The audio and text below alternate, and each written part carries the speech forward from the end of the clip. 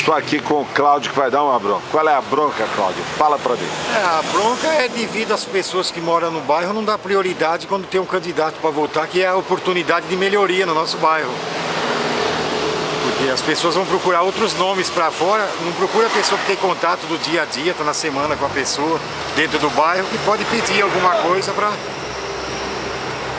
para melhoria da é região. Pra, exatamente, para melhoria, né? Porque é bem pouca melhoria que está tendo, então devido ao desconhecimento dessas pessoas, de que tem uma pessoa próxima no bairro e não vai de encontro a essa pessoa, vai votar para outros que não conhecem, porque tem um nome bonito.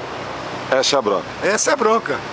Tem que prestigiar o candidato do bairro. É, exatamente, porque é ele que a gente tem esperança de que faz alguma coisa que a gente pode conversar diretamente com ele. O candidato da região. Da região, no seu caso.